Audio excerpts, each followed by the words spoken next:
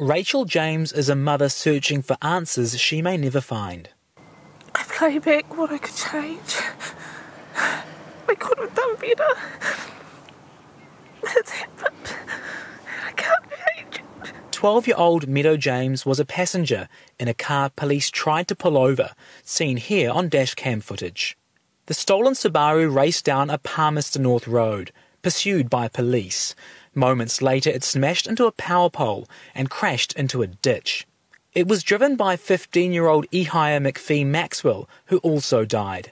A 15 year old girl remains in hospital in a serious condition. Meadow's family says she was a free spirit and came from a loving family. I don't know why people judge us when they don't know Meadow and they don't know our family. Tragically, Meadow's brother also died in a police chase five years ago. This is really hard. I guess it's.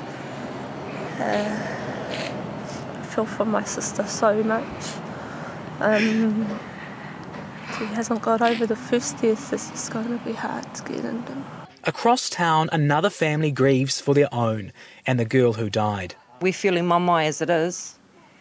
And, you know, we can imagine the mamae that they're feeling, the anger, the hurt. You know, I'd be angry, 12 years old. You know, your, your daughter, your moko, 12 years old. It's just crazy. They say he'd been a role model to their other grandchildren, but had recently been on the wrong side of the law. Unfortunately, the last year or so, he's gone a little bit wayward, and we, you know, we've tried to pull him back in and look after him, but you can't. You can't put a chain and collar on these kids today. They, they do what they want to do.